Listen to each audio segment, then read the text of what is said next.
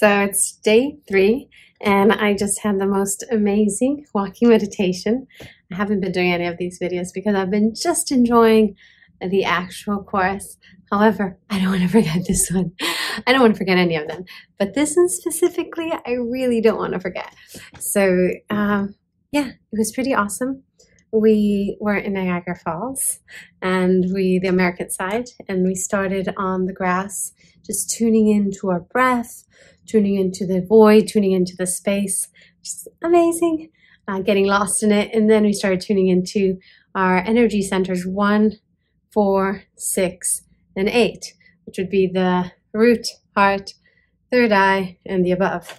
And um, things started to move and shake very fast. When I opened my eyes, I was in a trance and I just started walking because you walk in this meditation. You open your eyes and you walk with the intentions of who you want to be, who you are. And it was amazing. It was so good. I'm so grateful for all the staff of the Dr. Joe Dispenza. When people are like, oh, but why is it so expensive? But they keep you safe. Like I had multiple staff people catching me before I fell, catching me before the energy knocked me back. Um, I've had multiple episodes on this walk where if I had been alone or if there hadn't been as much staff as they have, I would have been probably injured. so I'm extremely grateful to the Dr. Joe Dispenza team for taking care of me so well. And I'm extremely grateful, sorry, switching hands, it gets tired after all. Extremely grateful to Dr. Joe for all the like energy he puts into the work because you can feel it when you're doing the work and he helps you almost get on like a spiritual highway getting to where you're trying to get with the energy centers. And it was pure bliss pure bliss connected with the divine connected with everything and everyone around me. And um, yeah the lying down part at the end where after you do you do the tuning in you walk, then you stop, you tune in again, and that's just like shooting energy from your root chakra all the way up, and you're knocking back, and it's insane. It's truly insane. And uh, yeah, then we got to lie down, and it was just like drifting away, and you're nowhere and no one, and it's still you're in that space, and I don't want to leave when I'm there. I, I, I'm honest, I just love it in there now, and you're playing in the space of beauty and gorgeousness, and when I open my eyes which is one thing that I used to get a lot in Cancun. And in London, when I meditate, I don't do walking meditations or I'm not outside. But as soon as I opened my eyes, I could see all the particles. I could see all the particles in the air. I can't see it for objects yet. But you know the atoms that they talk about, the vibrations of atoms and all that that they talk about? Oh, that's the fan just coming on. Ooh, giving me the Beyonce look. but you know those atoms they talk about where they're like, they, they flicker. I could see them all flickering. And at one point I could see, like I had, I wanted to touch them, but if you put your hand, they disappear. And the moment you take away, they start flickering again. It's just so cool. Just so cool.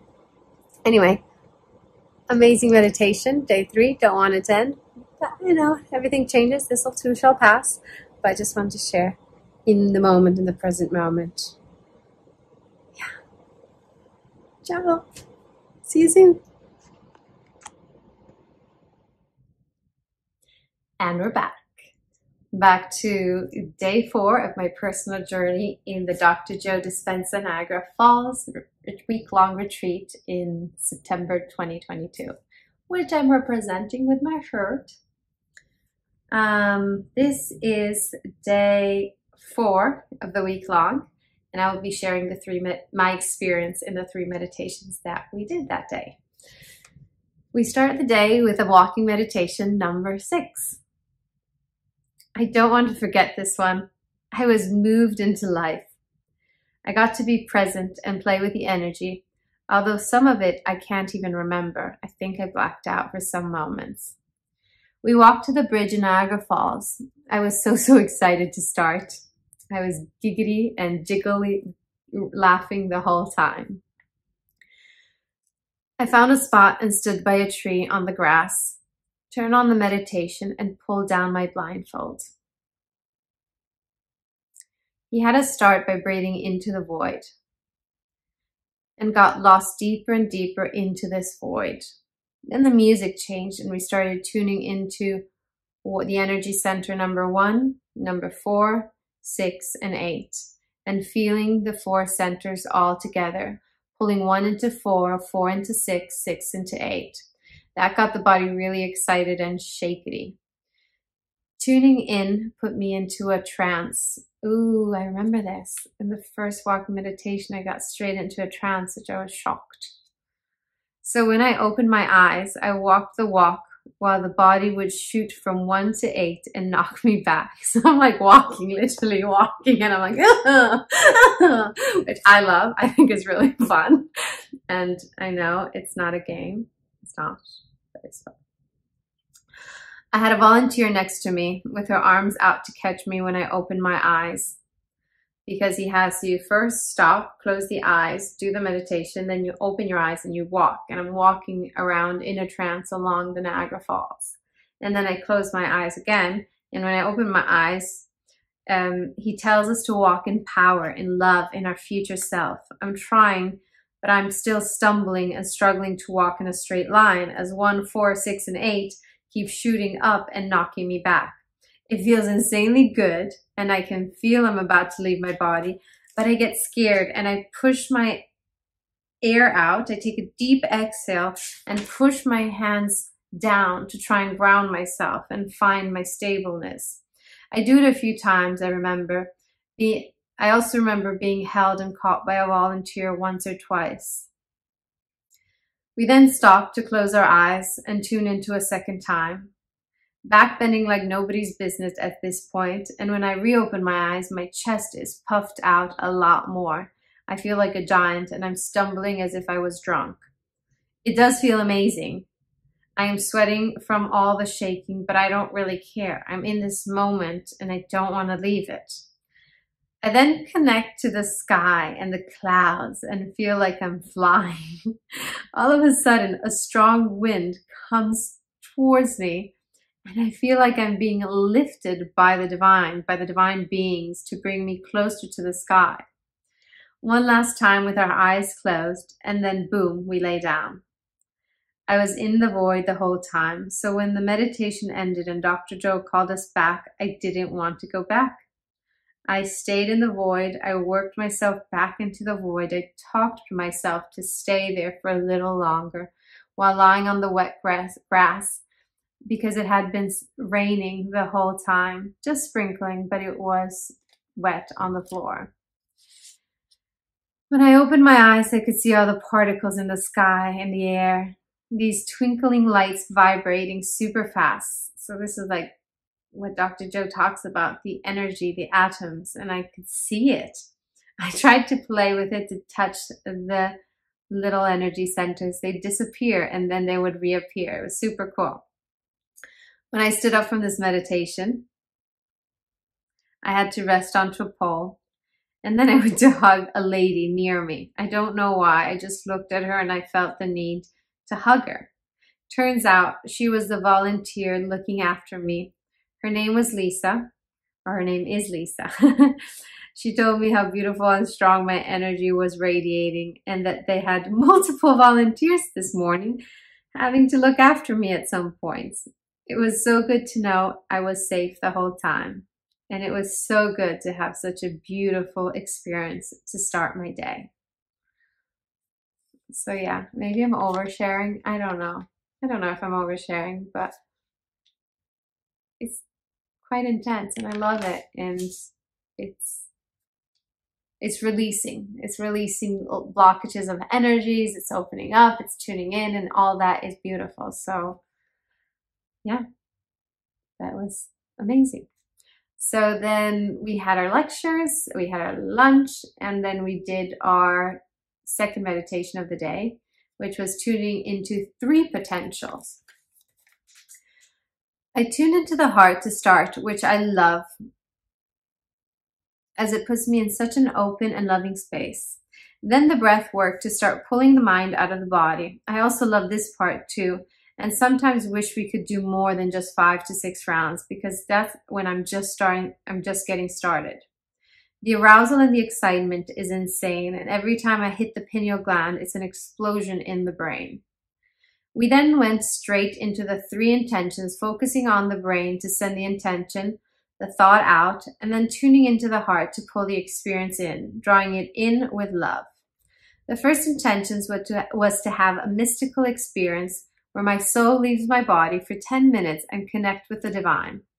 While you send your thought out and draw the emotion in, you are feeling as if you were having that experience, living it and imagining how it could feel. The intention too was to fully heal and become whole. I was planning to, okay, so at this point I was falling asleep because when my handwriting gets so sloppy that I can barely read it, it's because I'm falling asleep in my bed as I'm trying to fill out my journal. So please bear with me.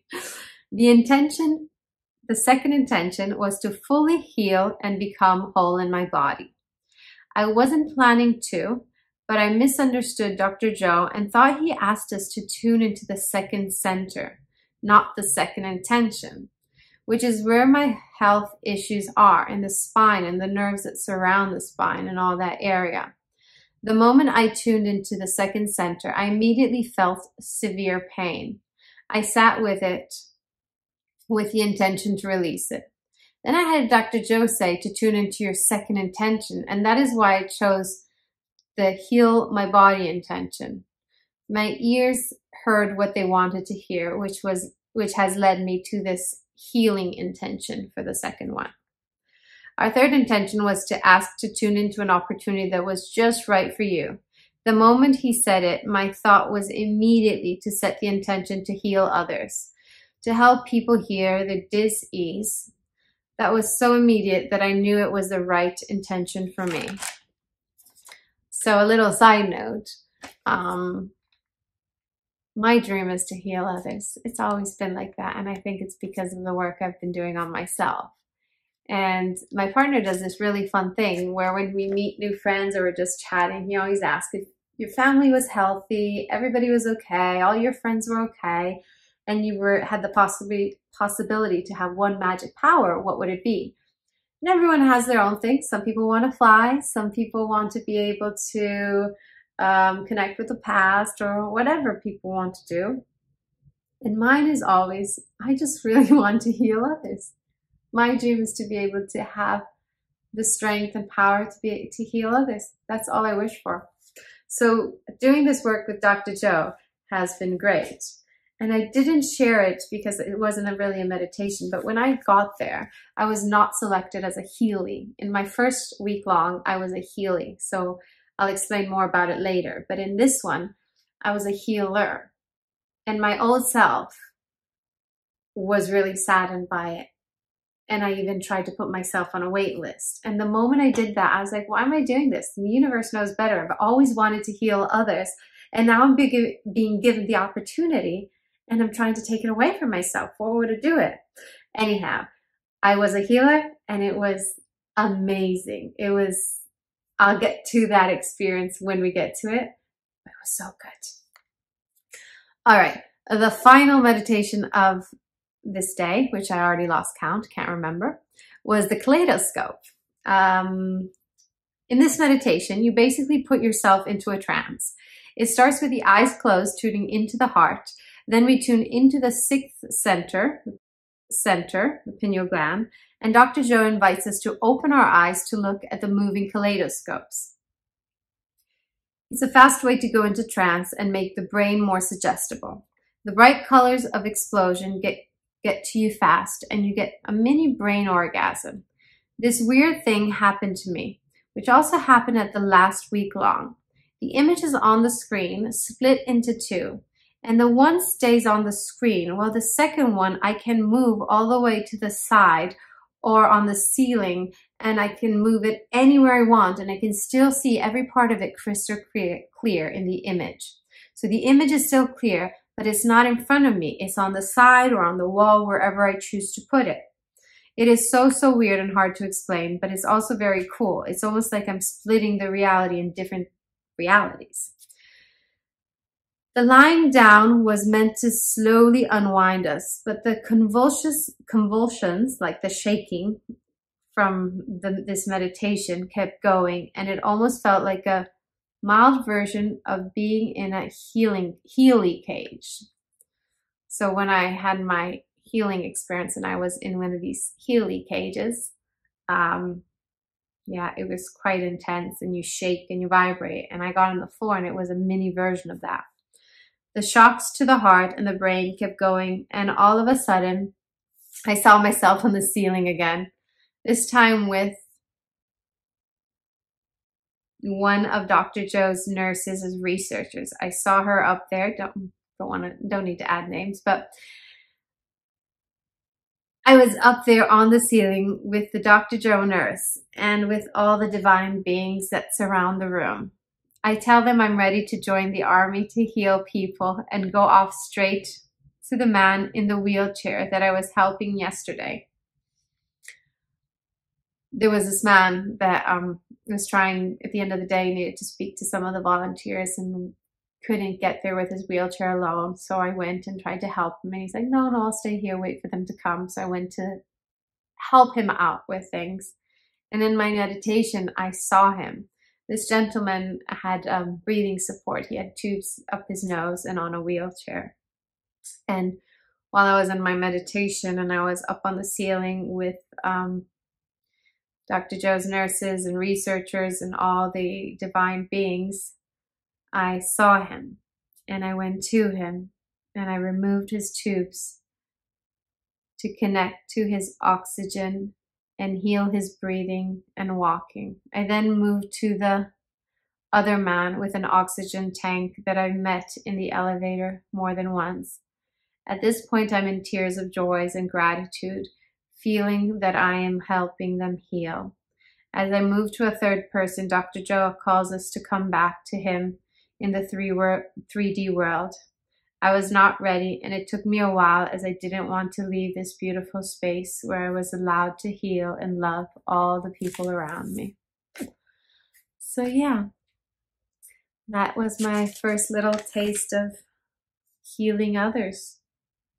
Not even with, not even trying to. I hadn't set the intention. It just happened out of nowhere and I loved it. I truly did. See you for the next day, which I still have, don't remember what day we're on.